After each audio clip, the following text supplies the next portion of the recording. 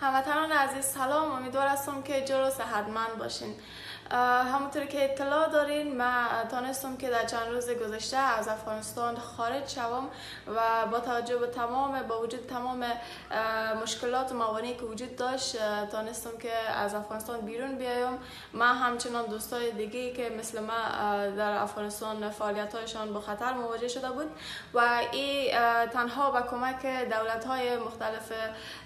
جهانی مثل دولت کانادا دولت اسرائیل و همچنین دولت